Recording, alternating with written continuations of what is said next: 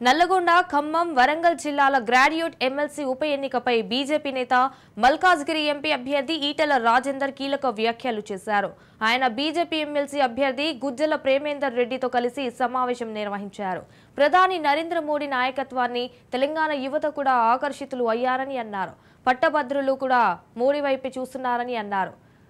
అయితే గుజ్జుల ప్రేమేందర్ రెడ్డి భారీ మెజారిటీతో గెలవడం ఖాయమని కనిపిస్తోందని అన్నారు. గతంలో ఎన్నడూ లేనంతగా కాంగ్రెస్ ప్రభుత్వంపై అతి తక్కువ సమయంలోనే వ్యతిరేకత వచ్చిందని తెలిపారు.